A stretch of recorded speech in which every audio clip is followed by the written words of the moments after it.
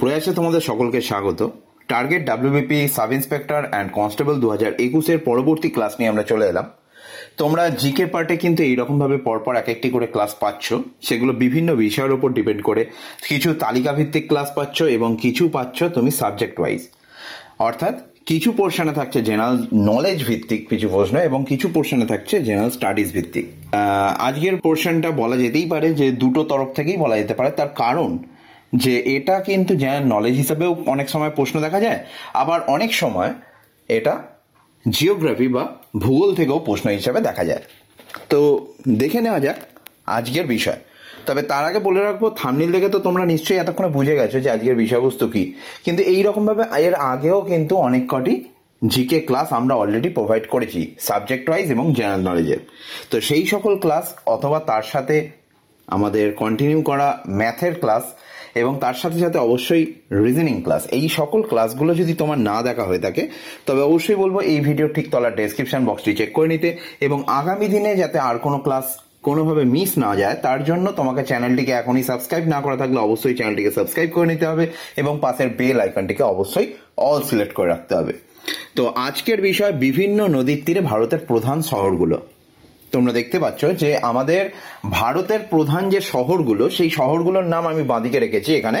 এবং ডান দিকে যে নদীর নাম বলা আছে, এটা অ্যাকচুয়ালি মানে হচ্ছে এই নদীর তীরে এই শহরটি অবস্থিত। তোমার অনেক পরীক্ষাতেই তুমি দেখতে পাবে যে এই শহরটি কোন নদীর তীরে অবস্থিত। তো এই ধরনের প্রশ্নগুলো কিন্তু প্রত্যেকটি পরীক্ষাতেই দেখতে পাওয়া যায়। তো সেই কারণে এই তালিকাটি আজকে তোমাদের সামনে আনলাম। ভারতবর্ষের প্রধান প্রধান শহরগুলো কোন কোন নদীর তীরে অবস্থিত? তো তারই একটা লিস্ট আকারে প্রকাশ করা হলো। তো চলো, দেখে নেওয়া যাক আজকের প্রথম শহরের নাম দিল্লি। দিল্লি যমুনা নদীর তীরে অবস্থিত।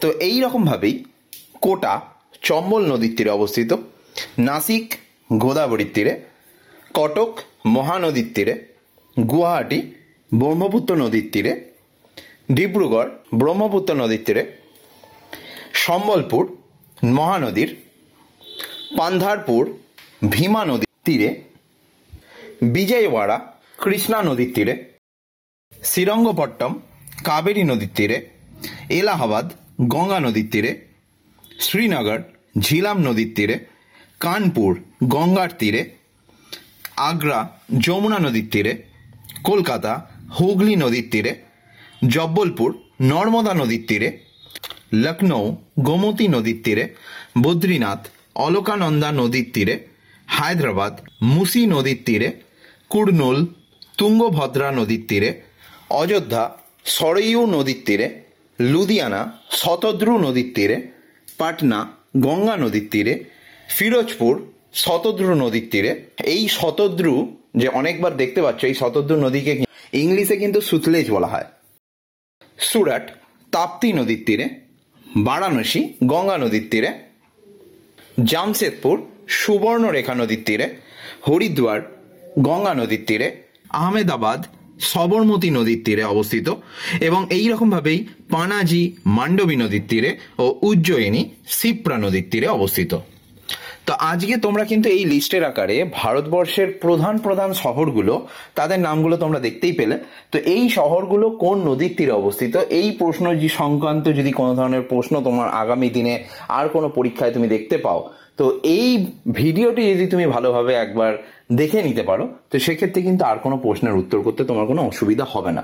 কারণ এখানে যে কটি তুমি শহরের নাম দেখতে পেলে, এখান থেকে কিন্তু বারংবার প্রশ্ন আসে। তো চলো, আজ এখানেই শেষ করছি। আগামী দিনে আরও কিছু ক্লাস নিয়ে খুব শীঘ্রই ফিরছি। নমস্কার, ধন্যবাদ।